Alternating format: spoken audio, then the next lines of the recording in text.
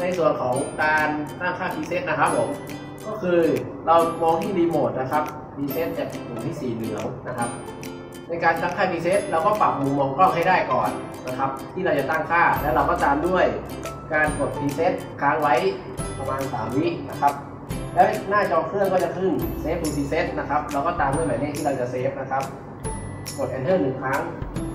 นะครับ อันนี้ก็คือ preset หนึ่งนะครับ ครับผม อันนี้ก็เป็นในส่วนของการเรียกใช้ preset นะครับ